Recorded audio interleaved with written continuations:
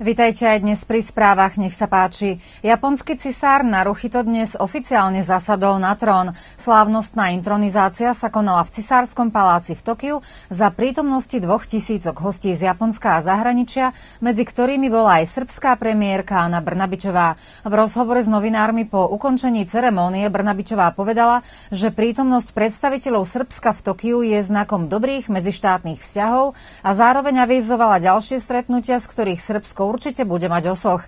Brnobičová pripomenula, že Japonsko od roku 2000 Srbsku zaslalo finančnú pomoc v hodnote viac ako 500 miliónov eur. Výbor pre kultúru Národnostnej rady Slovenskej národnostnej menšiny a Slovenské vydavateľské centrum vypisujú literárnu súťaž pre žiakov druhého stupňa základných škôl a žiakov stredných škôl s názvom Čo dokáže pekné slovo. Žiaci môžu posielať svoje básne aj prózu na ľubovoľnú tému. Práce treba zaslať v troch exemplároch podpísané plným menom a kontaktom.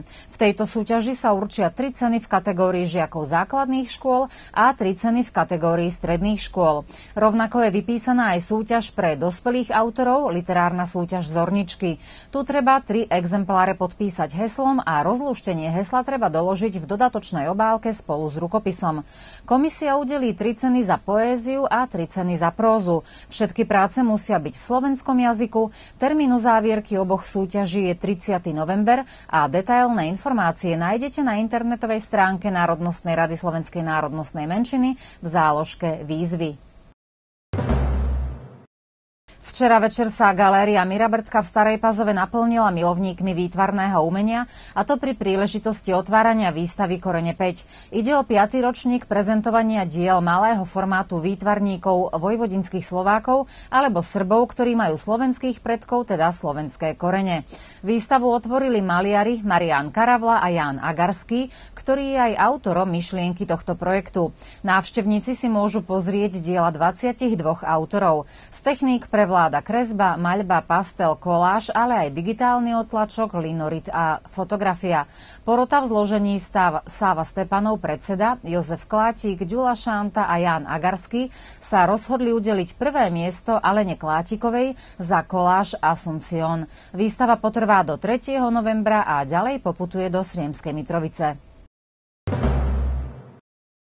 23. októbra sa zaznamenáva Deň oslobodenia Starej Pazovy. Pri tej príležitosti členovia Subnoru, účastníci, ktorí boli vo vojne, ďalej členovia ich rodín, predstavitelia vojska Srbska a lokálnej samozprávy, zajtra pri budove Staropazovskej obce položia vence na spomienkový pomník a pripomenú si tak nesmiernu obetu padlých bojovníkov v boji proti fašizmu.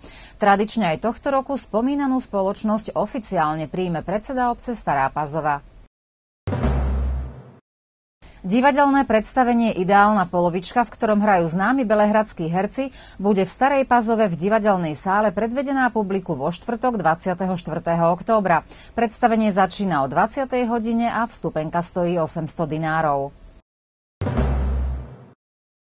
Slávnostné otvorenie jubilejného 50. ročníka prehliadky slovenských ochotníckých divadelných súborov s názvom Divadelný Vavrín je naplánované na sobotu 26. októbra v divadelnej sále v Starej Pazove so začiatkom o 18. hodine. Ešte pred samotným otváraním prehliadky bude v predsále o pol šiestej večer vernisáž výstavy Filipa a Michala Lašutovcov. Tohto roku sa na Vavríne predstaví 8 súborov, a to z Pivnice, Vojlovice, Lalite, Aradáča, Nového sadu, Západu a Kisáča. Po každom predstavení sa v predsále budú konať rozhovory medzi súborom, porotou a divákmi. Na konci prehliadky ako host vystúpi Slovenské vojvodinské divadlo z Báčského Petrovca.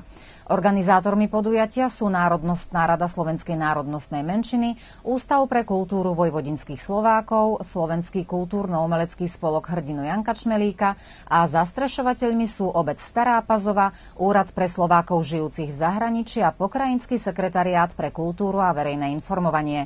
Divadelný Vavrín potrvá do 3. novembra.